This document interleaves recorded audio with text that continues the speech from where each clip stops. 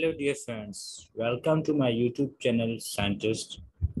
Today we will learn about retrosynthesis in ChemDraw. First of all, you have to make a compound or molecule that you want to retrosynthesize. I just made amide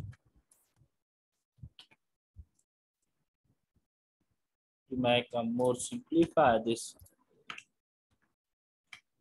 Okay. now select here retrosynthesis, click here, okay?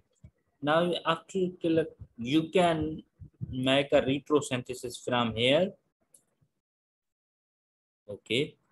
This would be aniline and this would be a acyl group. Acyl could be acyl halide or could be a uh, acid, could be a ester.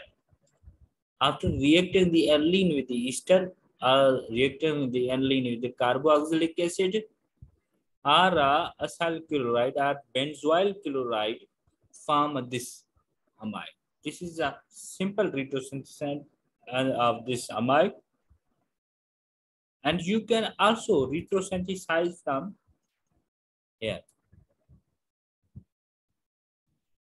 This is the molecule. From that you make the this one. What happens that when you react benzene with the, any compound containing amide portion and here it can be a, a best it is best to have a chlorine or halide group that would make it easily grow.